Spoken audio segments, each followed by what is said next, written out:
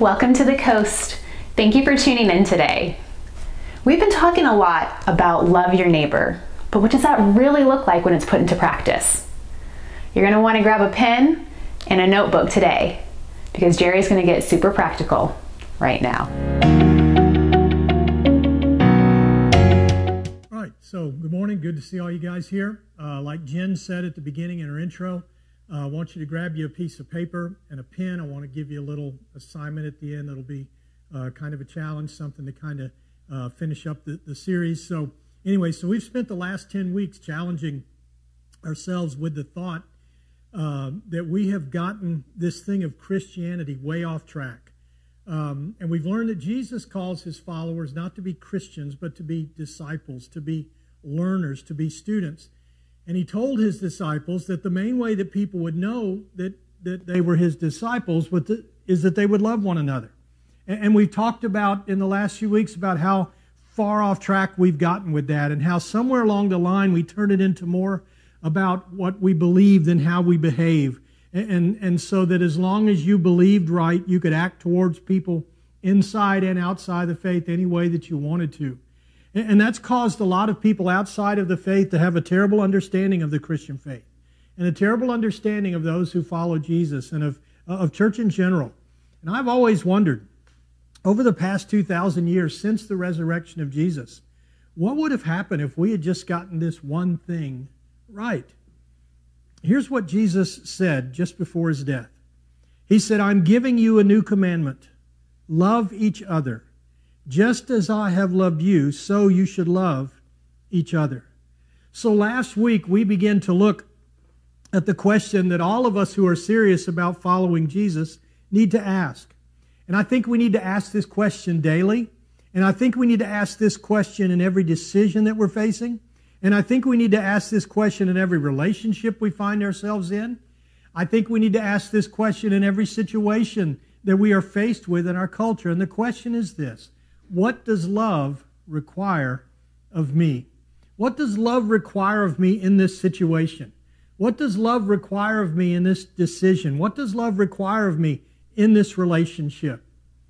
This is such a great question, and I wonder we, we, could ask this question in the situations that have played out in our own country over the last few months, the situations of racial injustice and, the, uh, and, and all of that, and the situations of how we respond to all of the COVID guidelines. That if we ask ourselves, what does love require of me in this? What does love require of you? And I want to end this series today by giving you three statements. And, and, and these statements will, will actually kind of take it to the next level. Um, and this is what we do here at Atlantic Coast. Whenever we pick up the scripture, we ask, how do we live this out? In other words, it doesn't need to be, yeah, I believe that, and we just kind of nod our heads and smile and walk out the door. But what am I going to do with that? What am I going to do with the truth that I just learned? How am I going to live that out? And these three statements that I'm going to end with today are going to give you and I the opportunity to do that. And then, like I said, I want to give you a little assignment at the end that'll kind of make it super practical for you. So, so today I want to take it out of the realm of, of concept and out of the realm of theoretical, out of the realm of just the question, what, what does love require of me? And I want to give you three statements.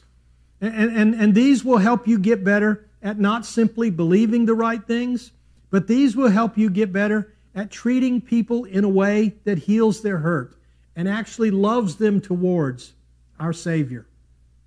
Three statements. Here's the first one. Answer What does love require of you? The answer is love requires that you do not do anything to bring harm to yourself. Love requires that you don't do anything that hurts you. And do you know why? Because your Heavenly Father loves you. And if you do something that hurts you, that hurts him.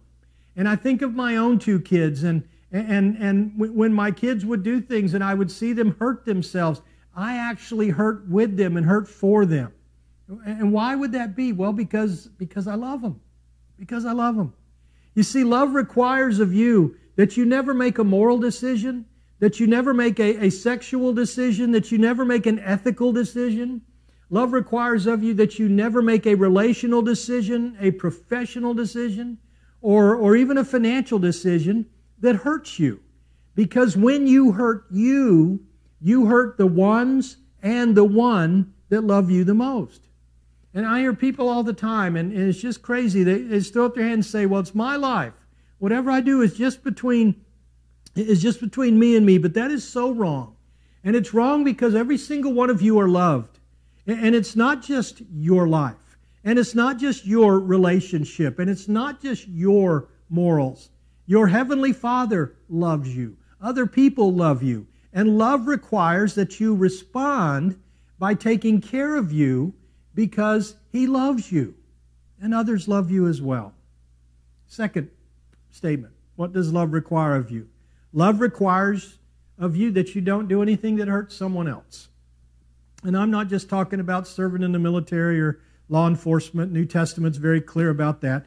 I'm talking about our interpersonal relationships.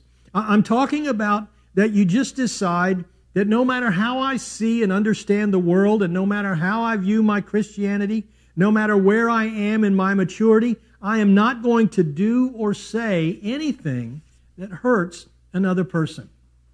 And here's why. Here's why.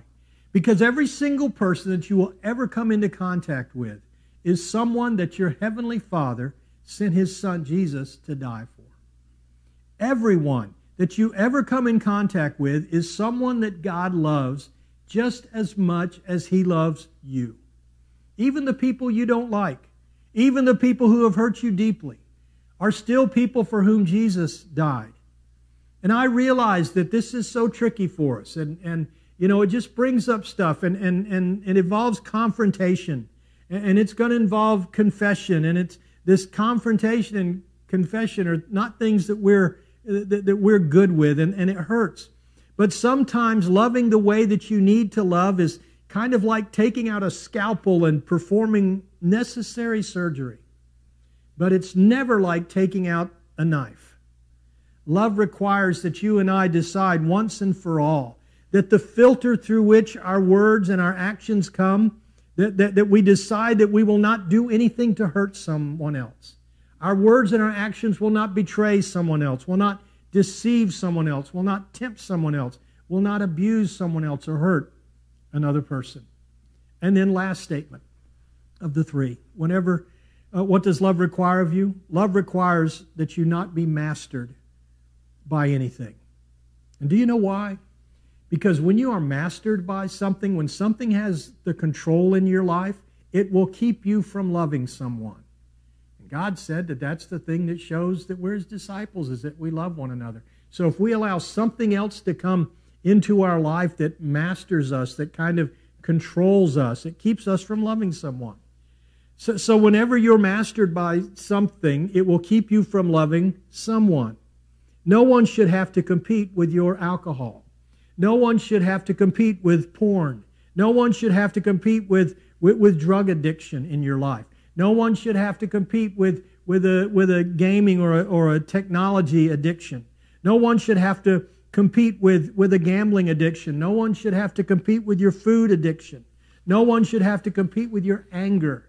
No one should have to compete with your temper. No one should have to compete with anything that seems to have control over you. And as a believer in Jesus Christ, you should refuse to be mastered by anything because you've already said that you intend for God to be your master and be in control of your life. So, do you know what love requires of you then? Love requires of you that you get rid of anything in your life that competes with the lordship of God in your life. Anything because you cannot love as long as you are mastered. And so you don't do anything that hurts you, and you don't do anything that hurts someone else, and you say, I'm not going to be mastered by anything. Now, now, let's get real practical here because that's real easy for me to sit here and to look into these cameras and, and you know, know that you're out there. That's real easy for me to say. And as I've gone through this list, you know, don't be mastered by these things and make sure that you're not hurting someone. You know what some of you have done? Some of you, as I've been going through this list, you've thought of other people. And you thought maybe, I, I sure wish my husband was, was, was watching this. Or I'm, I'm sure glad my wife is, is sitting here. Or I hope my teenager is listening to this. But let me ask you a question. Isn't that the perspective that has caused you to be hurt the most by people who claim to be Christians?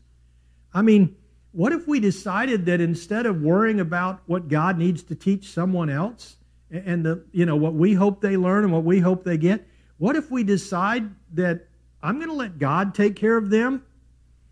And you just decided this I'm going to not hurt me. And whatever it takes to get into a place where I'm not hurting me, that's what I'm going to do. Whether it's confession, whether it's counseling, whatever. But you make up your mind, I'm going to break these habits. And then you say, I'm not going to hurt someone else. And, and, and, I will have, if I have to go and make something right with someone, if I have to go face to face and confess some things, I will. If I need to confront someone with the fact that there's something in my life that I'm doing or saying that's hurting them, then I'm going to do that and get that thing out of my life. And I understand what I'm saying may be painful. But you say, I'm not going to continue to hurt them by remaining the way that I am. And I'm not going to be mastered by anything. By anything. Because that means I can't give myself fully over to God and to others the way that I'm supposed to. Now, here's the deal. Here's the deal. Here's what I think Jesus was getting at. And here's what I think we've lost sight of. That when his church, that when those who are his followers leverage anything else but love, we lose our leverage. And listen to me, we, the church, the followers of Jesus, we have lost our leverage culturally. And it's not because we're at war with a group of people, and it's not because of politics, and it's not because of the Democrats, and it's not because of the Republicans, and it's not because of denominations, it's not because of any of that. You see, many, many years ago, when the church got into power, and, the church got into control, and when the church had the money and the church had the political influence, we abandoned love and we begin to leverage something else.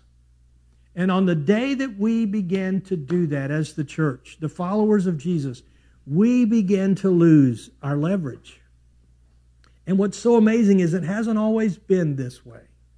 It hasn't always been this way. And I want you to remember back with me because once upon a time, there were just a handful of Jesus followers, just a handful. And all that they had was love one another. They didn't even have the New Testament. They didn't have the writings of Paul. If they lived in certain cities, they may have gotten a letter or two from Paul. Some of them may have read a little bit of Mark's writings, and some of them may have had a little bit of Matthew's writings. These are people, they didn't have Christian books, they didn't have Christian radios, uh, stations. They had no tele- They had no internet. I mean, there was nothing. But time after time after time, they kept backing into this one simple idea. What if we love one another? What if we do what Jesus told us to do? And what if love one another is the filter through which we look at all of the Old Testament commands? And what if it's the filter through which we look at all of this new information and this church stuff that's coming in? And listen to me, gang. We know from history that's how a culture that was corrupt, the Roman culture that had a form of paganism that was so cruel that we can't even imagine it. That's how that culture was turned upside down. And that's why an entire belief system that was just so incredibly bad just disappeared. Not because the early church had any kind of power, or not because they had any kind of influence or status or politics or wealth, but because they leveraged the only thing that they had, and that was the command of Jesus to love one another. And they couldn't coerce people into this. People were drawn to this.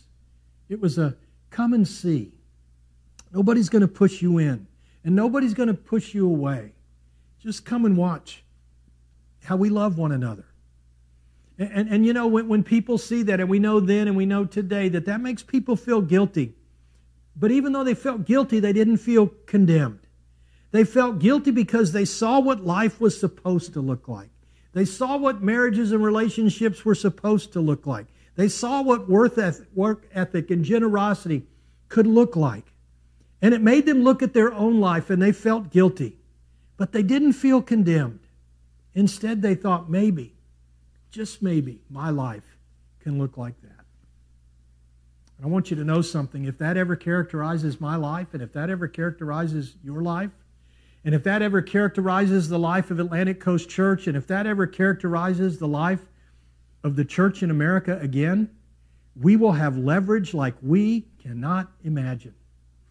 But the moment that we abandon love as our primary point of leverage, we lose. The moment we make winning politically, or, or winning financially, or, or winning, you know, being socially accepted in this world, the minute we leverage that and say that's where we draw our strength from, and that is our goal, we lose. And not only that, but the people who need Jesus the most lose. You can't preach people into loving Jesus. You can't preach people into loving each other. You can't preach people out of habits. You can't preach people out of addictions. You cannot legislate them out of habits and addictions. You cannot legislate a husband to love his wife the way he should, or a wife to love her husband the way she should. None of that happens through, through me preaching at you or through some uh, set of rules that come out. It only happens when it's seen and it's so attractive and it becomes irresistible.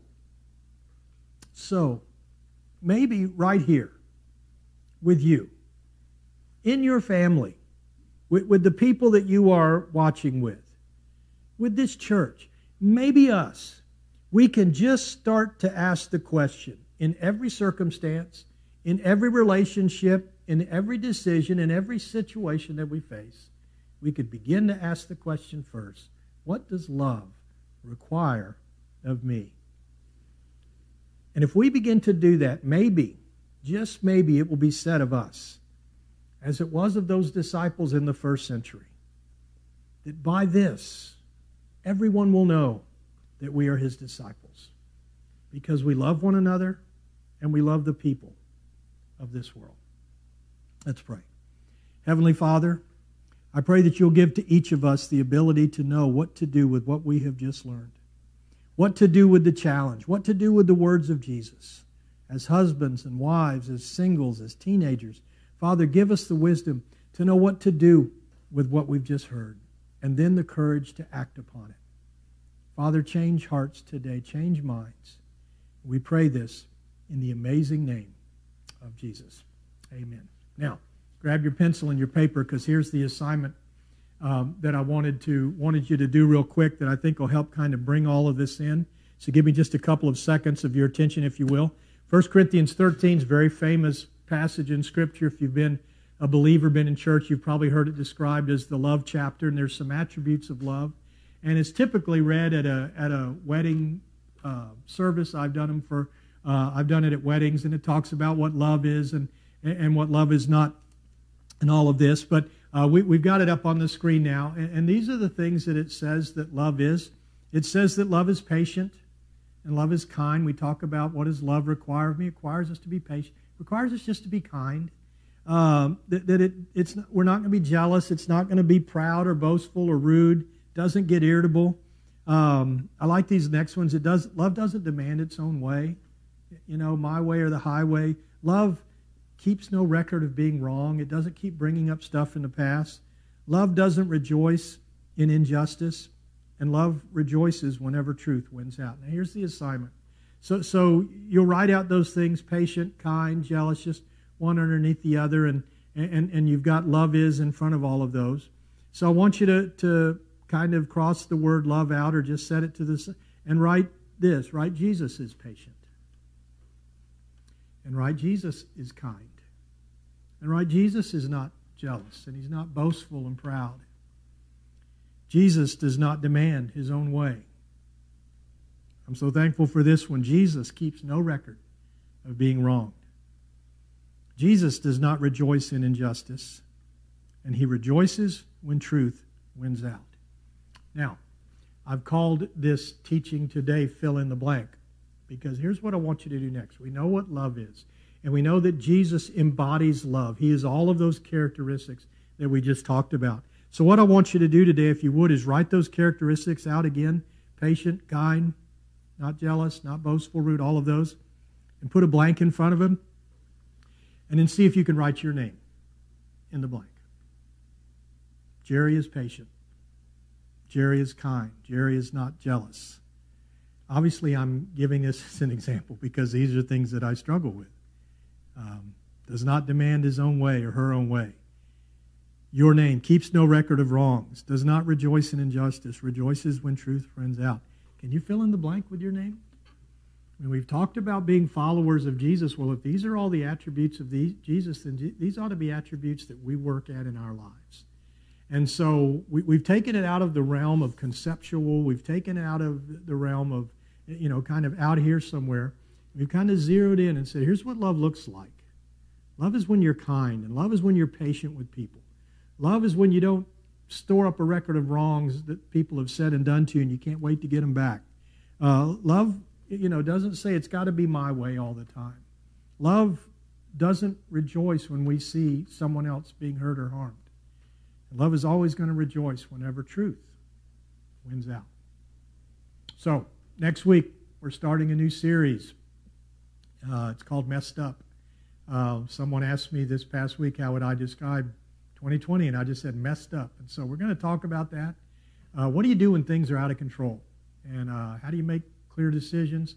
What do you do in relationships when things are out of control? So we're going to talk about that uh, next week and for the few weeks after that. So thanks for tuning in today. Um, and I really hope that you'll put this into practice in your life. Love one another. All right? God bless you guys. Hi guys! I'm bringing you the three things we learned today right outside of Taco Shack. This is a place to go if you want the best tacos in town. This came into our area in 2010 and I'm here a little bit early but if I was here just about 15 minutes now there would be a line around the building. So if you do want to come, make sure you come sometime after 11ish and get in line for the best tacos you can eat. Here are those three things. Love requires that you do not do anything that harms you. Love requires that you do not do anything that harms someone else. Love requires that you are not mastered by anything. All right, guys, that's all three of them. We want to thank you again for joining us, and we will see you next week.